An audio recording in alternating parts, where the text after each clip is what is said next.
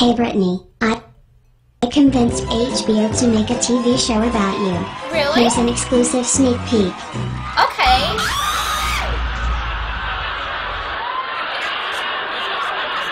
Why are they laughing? This is with Trump.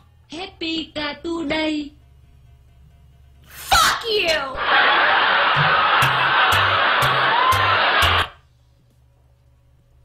Why were why was there an audio track of people laughing at me?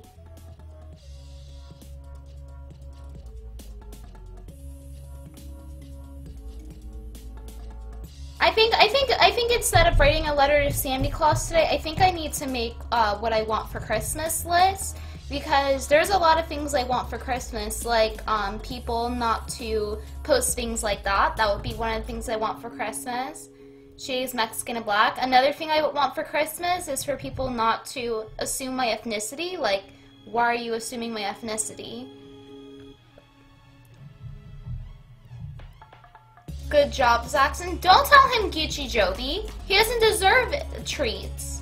He deserves to be put in the fucking shelter.